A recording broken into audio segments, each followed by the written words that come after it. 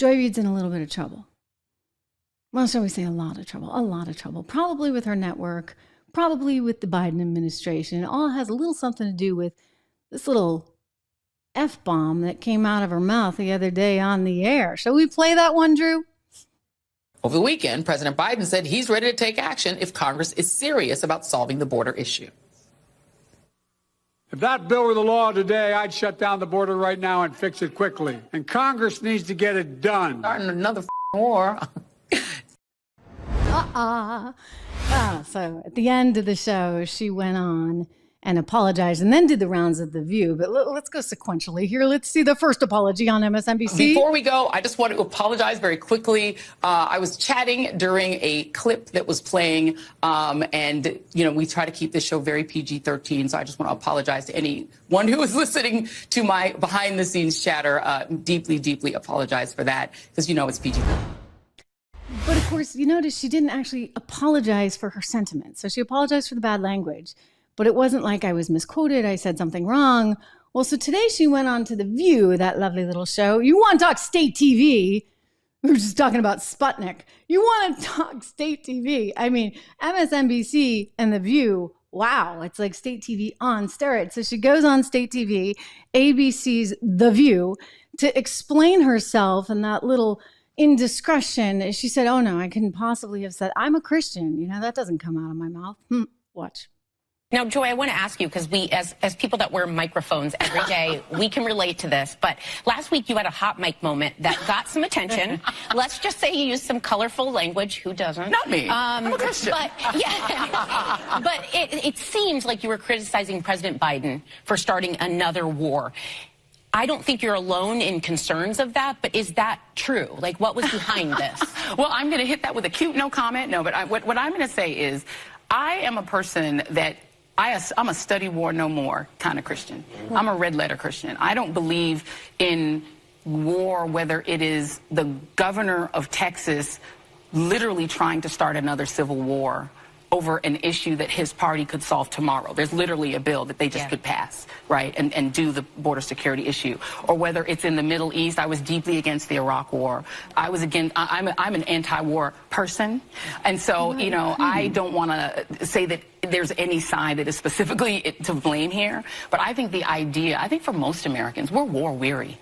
I think we're all weary of conflict, and we would like to see us progress economically, socially, try to bring this country back from the brink of racial hatred. Let's not do war at all. Yeah. Okay. Let's not. Okay. So that's her little pivot. She's against all war. I mean, she doesn't really talk out against what's going on in Russia and Ukraine and the, the additional money that they want for it here in the US. But you know, she's against most war, so she's gonna she's gonna go with that. And then she's gonna make sure you know that oh, Biden has just done a great job, a great job, a great job. Let's do a big, big hooray, hurrah. Cheerleader. Here we go. Cheerleader extraordinaire Joy Reid for the Biden administration's lousy economy. Watch. Anyone can win if people vote for them. So yes, he has absolutely a chance to win. And as you said, every candidate starts out with a good 45%, and then it's a matter of the rest.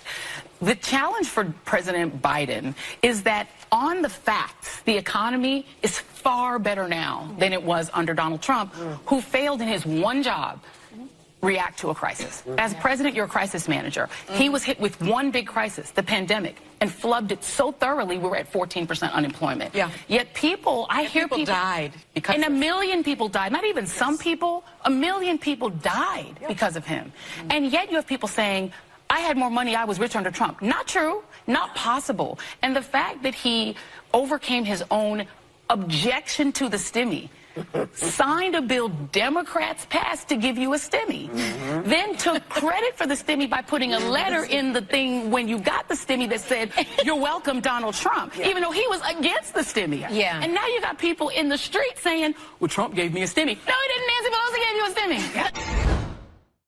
Okay, as for that stimmy, that was all Donald Trump. He desperately wanted to get those checks in the mail initially. I mean, the second one he might have fought in terms of making sure the spending wasn't getting too out of control, but no, no, no. He was all for that first one. It was part of my point. Like everybody was kind of overreacting way back in March 2020 because you know what? You knew the federal government was going to be there. Donald Trump, I mean, why wouldn't he jump at the chance, right? to give everybody a stimmy, as she says. So the other thing is she's just plain old wrong when she says you were not better under Trump than you are under Biden. This is actually flat out wrong. Wrong. Like, first of all, the stock market did do better under Donald Trump, and that includes the giant plummet during the dark days of March 2020. It, it, if you look at all the data, it, it really sums up to this this one chart, this one, one single chart, because in this chart, it shows you income under Biden versus income under Trump. And guess what? This is adjusted for inflation. So we're taking into account Biden's massive inflation.